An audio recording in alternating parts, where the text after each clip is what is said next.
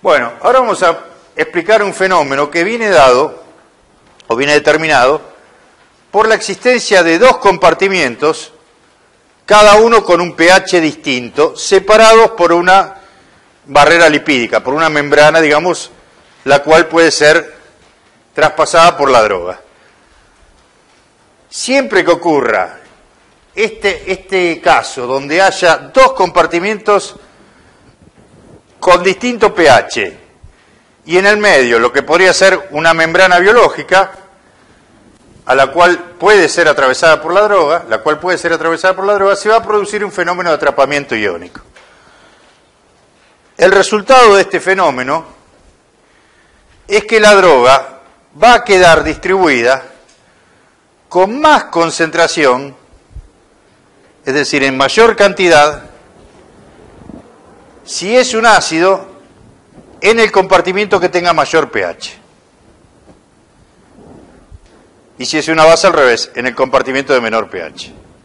La droga va a quedar atrapada si es un ácido en el compartimiento que tenga mayor pH y si es una base en el que tenga menor pH. Ese es el resultado. Ahora vamos a ver cómo se llega a eso. Eso es lo que se llama atrapamiento iónico. Vamos a suponer, para simplificar, acá donde dice droga ionizada más, hay que poner un menos. Yo me olvidé de cambiarlo. Ven eh, abajo de todo. Tiene un signo más, hay que poner un signo menos. Vamos a suponer que esto es ácido acetil salicílico, es la aspirina, y tomamos una aspirina por vía oral. La aspirina va a llegar a la luz a la luz del estómago. ¿sí? Una vez ahí va a estar en contacto con la célula de la mucosa, ¿sí? Entonces tenemos esta situación. Si esta es la luz del estómago,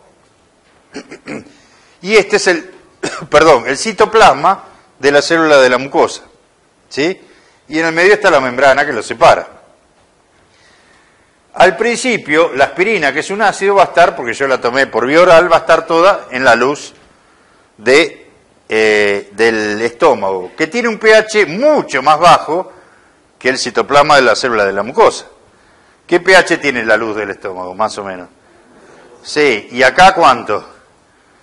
Siete, más o menos. Bueno, hay una diferencia como de seis valores logarítmicos, ¿no? O sea, este pH es mucho más ácido que este.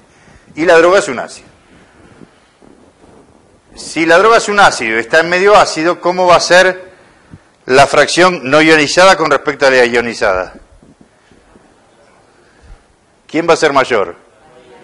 La no ionizada. Y en este dibujito, esquemáticamente, ven que hay 3 y 5, 8, 10, ¿no? En total, hay 10 moléculas no ionizadas y solo 3 ionizadas como debería ser.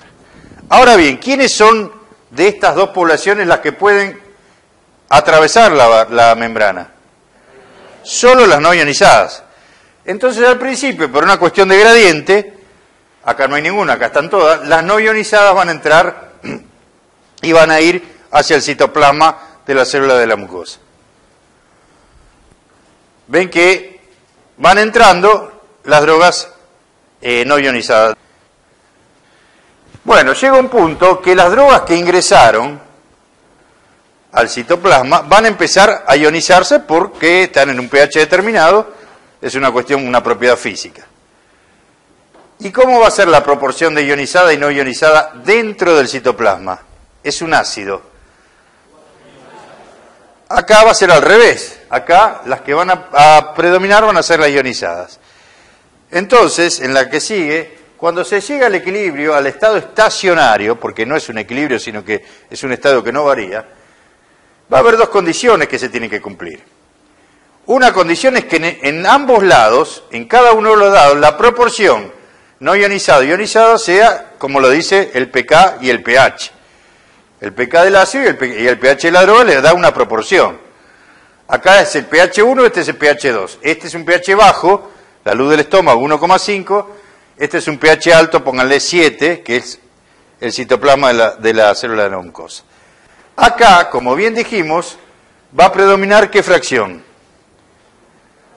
la no ionizada. Supónganse que los valores fueran estos, dos moléculas no ionizadas contra una ionizada. Obviamente que estos son dos mil millones de moléculas contra mil, ¿no? O sea, estamos haciendo un ejemplo.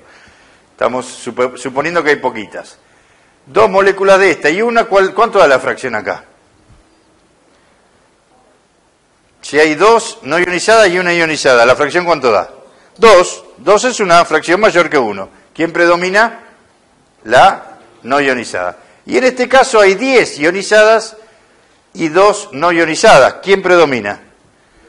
La ionizada. ¿Y cuál sería el valor acá? Si este es 2, acá cuánto sería? Dos décimos, que es 0,2, que es un valor menor que este. O sea, se tiene que cumplir que en cada compartimiento se llegue a lo que me dice la matemática que va a llegar usando la ecuación de Henderson-Hasselbalch, a la proporción entre no ionizada y ionizada que me la da el pK de la droga y el pH del medio.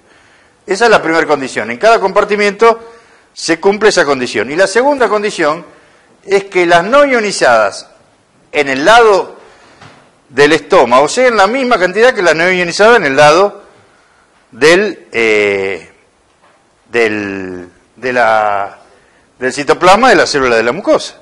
Que las dos estén emparejadas. Porque ahí todo lo que entra por un lado entra por el otro, la cantidad para que no haya un gradiente de concentración tiene que ser la misma. ¿Se entiende? En el equilibrio van a cumplirse esas dos condiciones. Que acá haya mayor porcentaje no ionizado y acá mayor porcentaje ionizado y que las no ionizadas sean iguales para los dos compartimentos. Cuando hacen esto van a ver que en total, ¿dónde quedan más moléculas? De ácido acetil salicílico, que es este ejemplo, en, el, en la luz o en el citoplasma de la célula. En el citoplasma, que es el el valor que tiene que, mayor pH o menor pH. Mayor pH. Y siempre va a pasar así con cualquier ácido en cualquier situación. Para las bases, lo pueden hacer ustedes si quieren, como ejercicio en su casa, para una base va a ser exactamente al revés. La base donde va a estar con mayor cantidad, en este caso, en el lugar que haya menor pH. O sea, si esto fuera una base, se cumpliría que estaría atrapada en dónde? En el estómago, en la luz del estómago. ¿Se entiende? Bueno, este fenómeno eh, lo vamos a ver más veces, en, la guía también tienen eh, algún que otro problema donde van a tener que eh, por lo menos mencionar qué se entiende por atrapamiento iónico. ¿Está bien? Esto para que vean, dijimos que, lógicamente, la cantidad absoluta absorbida de una droga es eh, dependiente obviamente de la superficie de absorción. Por ejemplo, teniendo en cuenta esto, una droga ácida como la aspirina, ¿dónde se va a absorber más rápidamente?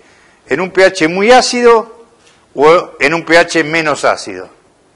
¿En pH muy bajo o en un pH medio, digamos? Cuanto más bajo sea el pH, más se va a absorber porque ¿cómo va a ser la fracción no ionizada? Mayor. ¿Y eso dónde ocurre? A nivel del estómago. O sea, la aspirina se absorbería más rápidamente a nivel del estómago. Sin embargo, si tenemos en cuenta que el estómago tiene solamente 0,25 metros cuadrados de superficie y el intestino delgado 200, en definitiva, ¿dónde creen que se absorbe más la aspirina? En el intestino por una cuestión de superficie. Ahora, si lo hacen por unidad de superficie, ¿dónde se va a absorber más? En el estómago porque ahí es donde digamos, las condiciones, el pH es más favorable para su absorción. Esto también lo tienen que saber, ustedes lo deben saber de memoria, pero bueno, recuérdenlo como para tenerlo de referencia o si en algún ejercicio aparece, ¿no? Fíjense la diferencia en la superficie de absorción entre los distintos órganos y bueno, ven que el estómago, si bien es muy ácido, tiene una superficie tan chica que lo que se absorbe es relativamente poco.